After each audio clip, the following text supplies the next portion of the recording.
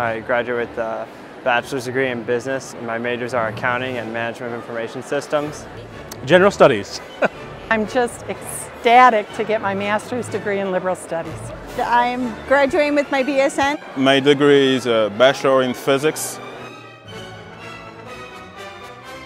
I'm an auditor right now. I just got a job as an auditor, um, so I'll be auditing a business. Not sure yet. I, I want to just, you know, enjoy it, celebrate it. Uh, September I'll start work locally at Crowe Horwath in South Bend, which is a public accounting firm.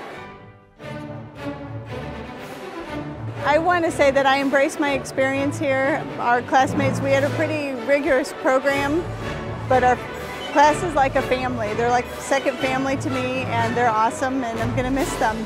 It's a great school, a small school and uh, easy to learn as you're close to uh, faculty and, uh, and people around you are really nice. The intramural sports, because uh, it was you know cheap to play and you got to meet a lot of people and play without actually having to be good enough to get on uh, uh, the school teams.